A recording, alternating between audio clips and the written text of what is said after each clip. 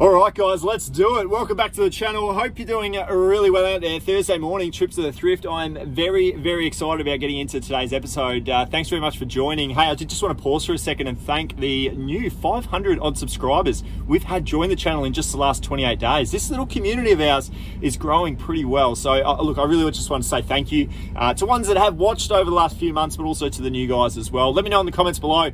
Uh, if you're yet to comment, if you're yet to interact with the channel, it'd be great to meet you and say hi high. So put that into the comments. And also too, I read a recent article that said for those that go out and do thrifting YouTube videos, if their viewers like the video before they go into the thrift, they're generally a better chance of finding great items. So I don't know, if you guys could just test that one out and just hit that like button for one second, that'd be very much appreciative. Um, look, we're going into four op shops today. Hopefully we can find some really good stuff. Uh, I'm going to show you what stuff that is. I'm going to show you what it goes on to sell for on eBay. So we are here at the first op shop. Really looking forward to diving into it. Let's get started.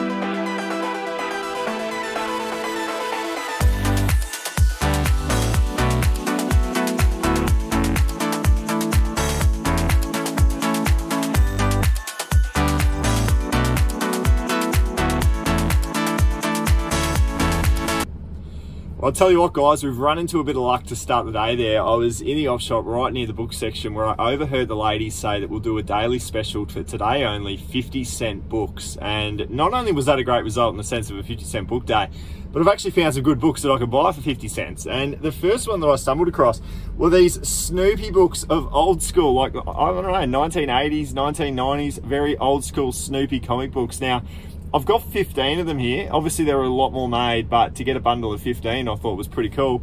Uh, these are in, look, for their age, relatively good condition. Um, if you have a look here, they're, they're, just very basic, old school, generic um, Snoopy Snaps books. So I had a look at the comps for this. I knew that it would be okay, and the comps were telling me that I should make a couple. So I've picked them all up. They've cost me $7, but I have got 15 books. So I'm thinking maybe bundling them up and selling the 15 together, do it for like 70, 80 bucks, something like that. It's certainly what they're worth. So that was an awesome find there with those Snoopy books. I haven't come across those before. And the other one as well was I found seven books of Saddle Club as well. So these have only cost me $3.50 for all of them. And I know the DVDs comp really, really well on eBay, so I thought the books would be the same, and they are. They're pretty decent. So to pick all these up, what's good about these is they're actually a two-story book, so there's two stories in one. Um, so it's kind of like their value edition. Um, so I thought they were really good. Seven books, $3.50. How can you go wrong? There's going to be some uh, some money made in those. And then I also found in the shoes, just the one pair, but I thought they were pretty cool. I paid $12 for these. These were the Adidas Hardcourt Dunk 2s, I think they were. Um, now, there are a few comps there around the $50 mark, which is generally what I sell my shoes for. I think in the end, I'm going to profit around 28, 30 bucks when it's all said and done on these. So sort of within the ballpark of how I like to sell my shoes, 30 bucks profit. They were cool. Should move pretty quick, I'd imagine. And then uh, a couple of pairs of men's Levi jeans, really, just to end the uh, end the run. Um, got a pair of um, Levi 505s and a pair of old school like Levi denim curve classic straight leg 32s. These were the old San Francisco um, logo, so I hadn't actually seen these before, but the comps were telling me that they may be worth about $30. I've paid $8 for those. And then the other one were the 505s, so I thought I'd grab them as well. Um, I think, what are they? They're a 32, 32 as well. So the size isn't too bad. Uh, they're in great condition and I've only paid $8 for these as well.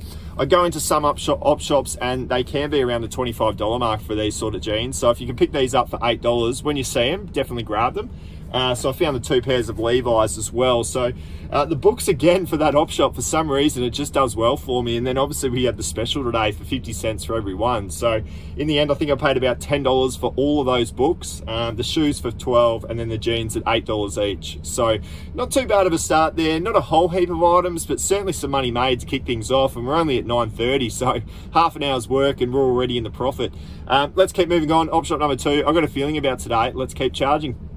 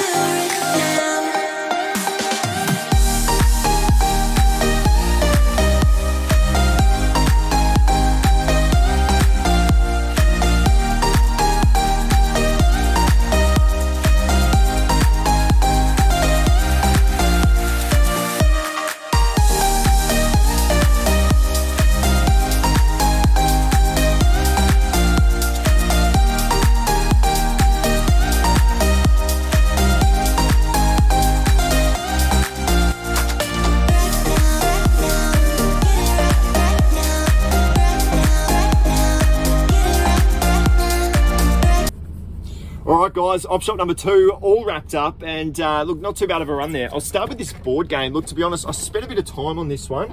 It was the um, Haunted Ruins board game. Now, this actually had a comp on eBay for over $50. I've paid two bucks for it. There's a little price there for it there for $2, as you can see. Now, look, I spent a bit of time in the shop because the last thing you want to do is put a board game onto eBay and have missing pieces. So, look, it is a little bit time consuming. It did take a little while for me to confirm that there is a complete set with this guy. Um, so when I did realize that, I had to grab him for $2.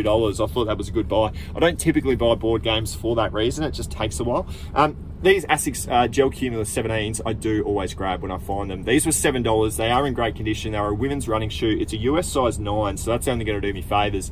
Um, I'm going to give these a really good clean, some sugar soap, some gumption. Always buy your Asics shoes.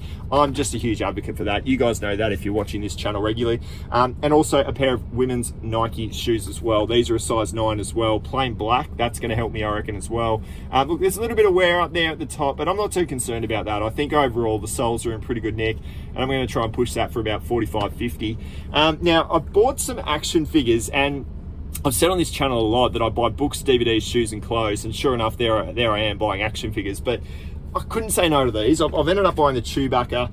I've ended up buying Finn as well. So a couple of Star Wars action figures. They are actually quite large. Have a look at Finn. He's, he's, he's monstrous. He's absolutely huge. Um, so I had to grab him because uh, I reckon I'm going to be able to make a few bucks on him.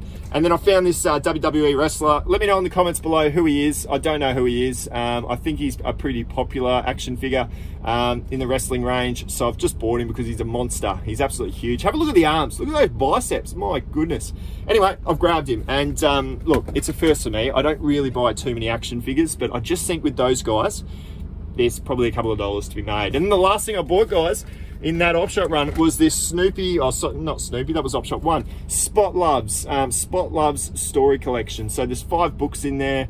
Uh, believe it or not, I bought this for three bucks and there's some comps for $38.50 on eBay. So that was the reason why I've picked up Spot. Um, I do remember Spot back when I was a kid, so no wonder he's comping well on eBay. Um, that'll do us, guys. Op shop number two, all wrapped up there. Some action figures, which is a little bit different.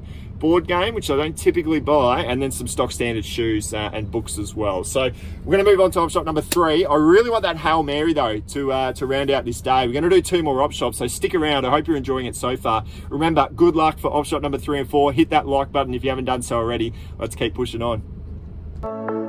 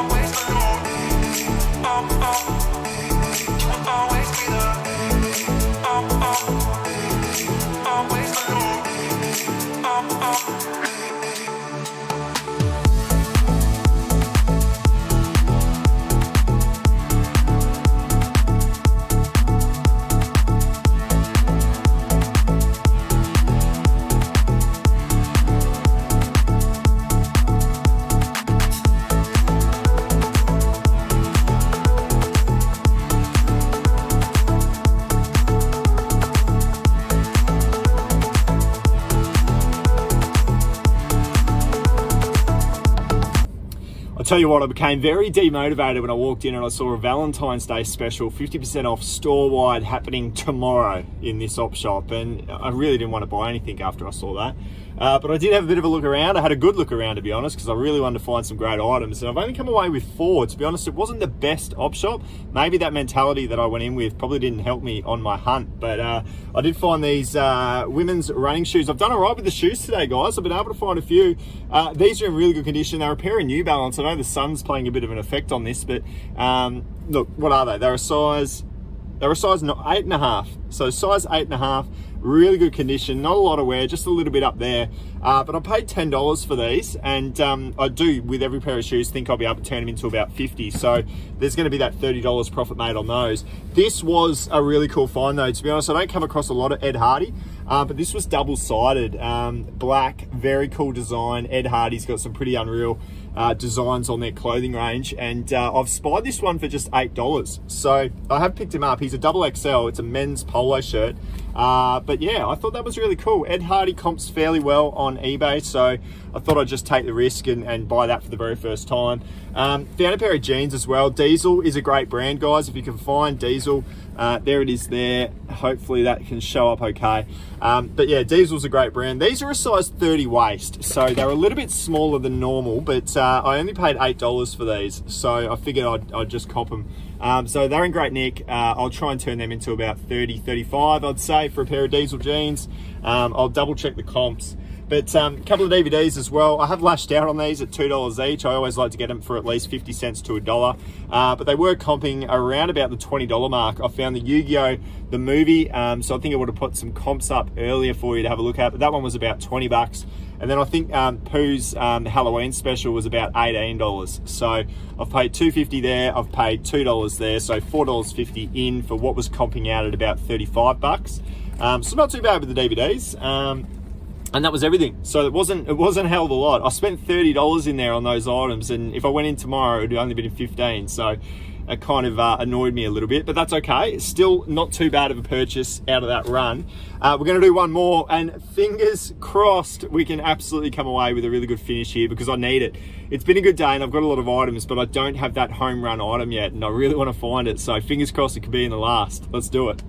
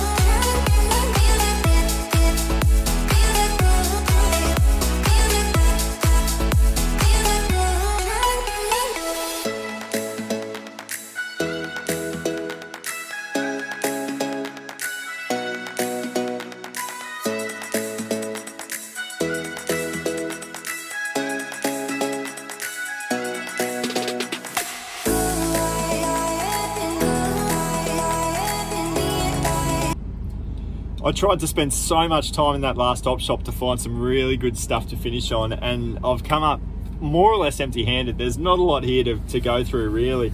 Uh, I've been able to find a really good brand that I do want to talk to you guys about though, and it is Herringbone Sydney. Uh, for those in Australia especially, if you can find this brand, it does comp very well on eBay. So I'll put some comps up here for you to have a look at, but I actually found two of these shirts. Um, this was the first one, a slightly smaller size.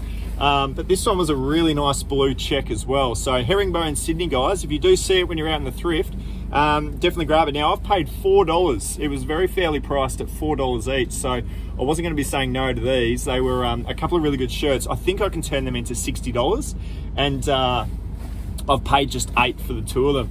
Um, a lot of the t-shirts in there and the button-ups were all sort of around the $8 price point and you're just not going to make a profit on those. So there were quite a number of t-shirts especially that I saw that I would thought about picking up but at $8 I just couldn't do it. So luckily the herringbones were only at $4 which I have no idea why but um, they are in great condition.